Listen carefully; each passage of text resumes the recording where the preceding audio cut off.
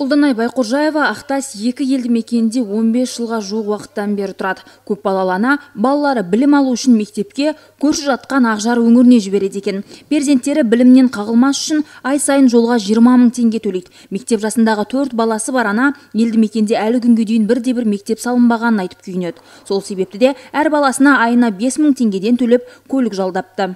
Газельді жалда өзіміз жалдап осы ата аналар жалдаймыз. Әр баланың басына 5 мың теңгеден береміз. Бір төрт балама 20 мың береміз. Ай сайын. Осыдан екі айға жуық уақыт бұрын ақтасиық елді мекенінде ұлттық жоба бойынша мектеп түседі деп нысан орны қоршауға алынған. Сол кезде балаларымыз алысқа сабылып жүрмейтін болды деп төбесі көкке жеткен жергілікті тұрғындардың қуанышы көп ұзамай ақ су сепкендей басылған. Айтуларынша жауаптылар белгіленген орын нормаға сай емес деген себеппен мектептің басқа жерден салынатынын хабарлапты. Бүгінде оқушылар ақжар елді мекеніне немесе қалаға барып сабақ оқиды. Алайда бұл аумаққа тек бір ғана автобус жүретіндіктен балалар қоғамдық көлік көлікке сыймайды екен. Ал жаяу жүргендері жазда шаңға қыста лайға бататын көрінеді. Мектеп түседі деп бәріміз қуандық осы жердегі аналардың бәрі қуанды. Ой балдарымызға газель жалдамайтын болдық автобусқа сүремейтін болдық автобустың ішінде құламайтын болды деп қуанғанымызды су сепкендей мынаны кеп бұзып жатыр міне. Бәрі салынатын болып халық қуандық біздер.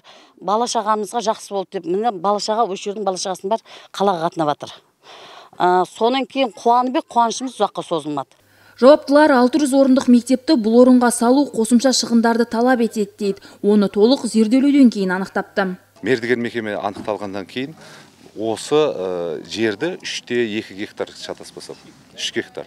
Үш гектар жерді біз қоршап одан кейін ә, лабораторияның изыскания жұмыстарын жасады жасағаннан кейін лабораторияның заключениясы мектеп бұл жерге түсетін болса ертеңгі күні ол мектепке басқа жерге ауыстыру одан кейін сырттан әкелетін топырақ керек деген заключение берді.